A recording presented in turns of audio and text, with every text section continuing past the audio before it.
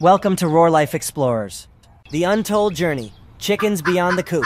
Chickens, while commonly associated with barnyards, carry a rich tapestry of history and significance. Originating from the jungles of Southeast Asia, they've journeyed alongside humans, becoming a staple in diets and cultures globally.